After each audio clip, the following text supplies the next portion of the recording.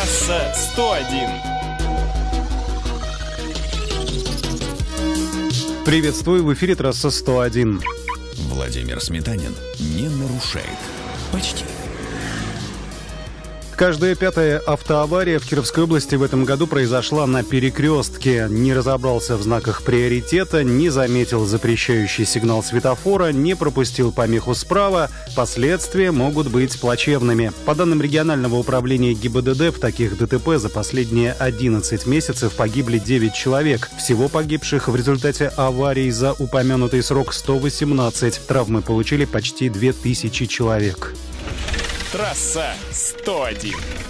Toyota отзывается в нашей стране почти 10 тысяч моделей Венза, проданных с 2013 по 2016 годы. Вин-коды, как обычно, есть на сайте Росстандарта. Причина объявления компании называется «возможное перетирание проводов, идущих к боковым подушкам безопасности со стороны водителя». В результате они могут не сработать. Также отзыву подлежат 16 внедорожников Toyota Land Cruiser Prado, реализованных в конце весны-начале лета этого года них необходимо заменить выпускной коллектор.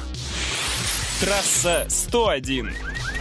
Информация о том, что дилеры продают автомобили с огромной наценкой, дошла до властей. Но, наконец-то, тысячи желающих купить новую машину уже много месяцев крутят пальцем у виска, видя стоимость доп. оборудования. Это может быть и несколько сотен тысяч, и несколько миллионов рублей. В Тюмени вот в сентябре мужчина пришел в автосалон с ружьем и потребовал отменить навязанную опцию. В общем, Минпромторг предложил ограничить дилерскую наценку на уровне 10%. Теперь бы еще знать дату, когда инициатива будет реализована. Трасса 101. Почти две трети российских водителей благодарят своих коллег миганием аварийки или жестом. Около половины автомобилистов предупреждают других шоферов о нахождении поблизости наряда ДПС. Водительской вежливости был посвящен опрос, проведенный порталом авто.ру. В целом почти 80% отечественных автолюбителей считают себя дружелюбными. 45% респондентов обижаются, когда их не благодарят за оказанную услугу например, пустил в свой ряд или позволил выехать из двора. Трасса 101. А компания Renault презентовала седан Logan, который работает и на бензине, и на метане.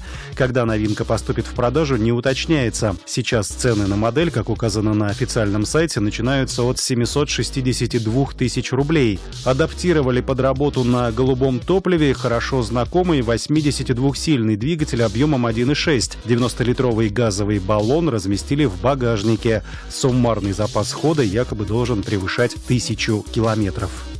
На этом все. Вопросы и комментарии оставляйте на сайте Эхо Кирова. До свидания. Трасса 101.